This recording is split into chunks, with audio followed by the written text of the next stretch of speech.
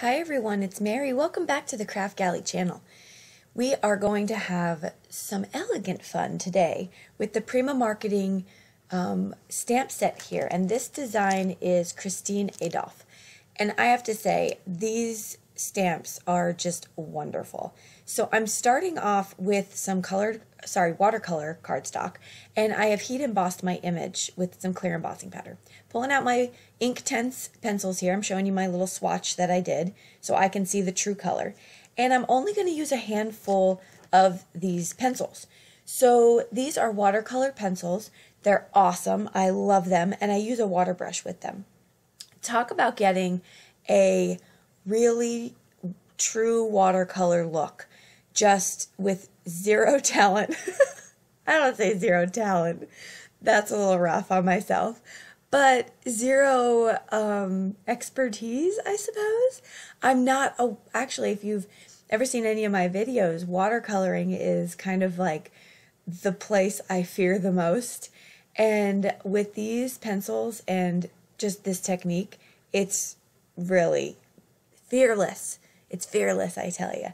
Okay, so what I'm doing here is the first thing you want to do is you lay down your color with the pencil and then you're just going to add some water and fill it in. Now the reason I did some heat embossing with my images was so that I can have sort of like a pool, kind of like an area, what's it called? A reservoir? What's that called? Where you have like barriers you guys know what I'm talking about. But so that the water will kind of stay within that area and I won't have to worry too much of it going into the next flower or whatever the image is.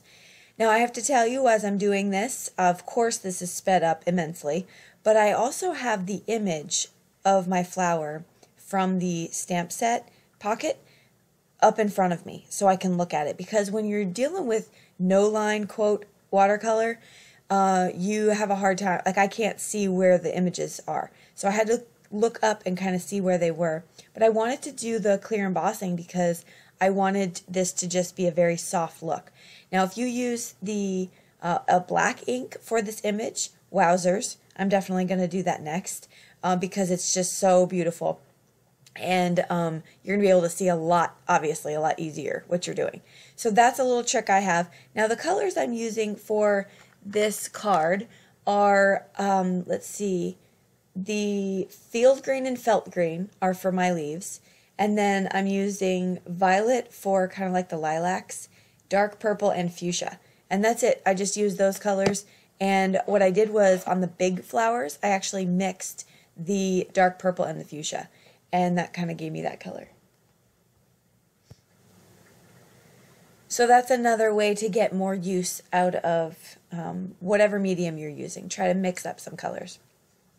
So I'm going through and I'm adding my water and um, you want to try to pull out from where you want the shading and then pull that out into kind of a more um, faded out look. And that's going to help add a little bit of that dimension. You can see, for example, on the biggest flower, you can see how it's darker right around the center of the flower. And that's because I use that technique.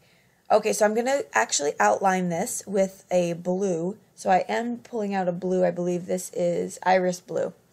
And um, I don't know if you saw the way I was holding the pencil, but I was holding it sort of flat to get a very soft. If you use harsh lines with these pencils, it's harder to blend them out. So just keep that in mind. So I'm going around and I'm just going to add some blue. After that, I'm going to take my Spectrum Noir sparkle pen and I'm going to add some sparkle to all of my images. I think this really adds something special to it. But that wasn't enough for me. um, after I looked at this panel, I said, oh, what do I want to do with this panel? And so I decided, as crazy as it was, that um, I was actually going to cut it out. And so I did. I just cut it out around the image, and this really makes this image pop out. I love that. I am going to take to some Bristol Smooth cardstock with some regular distressed inks, and I'm using Twisted Citron here. Now I'm going to make it heavy on the bottom, and then I'm going to fade it out up into sort of a white, um, even though it has a little bit of Twisted Citron on the top, it's sort of going to be like a white um, fade. Okay, so I'm going to keep going back and forth and doing that, and Bristol Smooth with any distress is amazing. So then I decide, again, um, another oh, I'm going to add some water droplets here just for some effect. Didn't work as well on the Bristol Smooth as I had hoped. I don't know if any of you have that issue too, but all right. Then I decided to use an egregious amount of Fun Foam, and um, I spared you all that craziness. And I'm going to add that so that it pops up. All right, so I get that down, and then I have this thanks die already cut out in my stash from some cork paper, and I thought that matched the uh, um, the kind of look of the card instead of doing a black sentiment. Uh, so I am going to use some fun foam on only half of that because as you can see, this is going to actually fall off of the image. So half of it's going to be on the card, half on the image. And that's where I didn't want to obviously put the fun foam all over it. I'm going to show you here, I used some stickles and I put that right in the center of the flowers. This gave it nice, some nice sparkle and shine. And um, that was just a little accent there that I did for the stickles. Okay, a couple more final touches and then we're done. So this one I'm going to use um, a white gel pen and I'm just going to put some dots all over the bottom of that. And then I'm going to take some, um, which is similar to Glossy Accents, some lacquer here, and I'm just going to cover up my thanks. And that's going to make it almost look like an epoxy uh, embellishment. Okay, so for the giveaway today, we're going to give away a $10 gift card to the store. All you have to do is subscribe to the channel here on YouTube and comment below about what products you're most excited about adding to your stash this spring. This card has inspired spring, so we're excited about it. Uh, the link to Kraftgali Shop is below, and we will pick a winner next Saturday, 17 March. Super easy, fun challenge.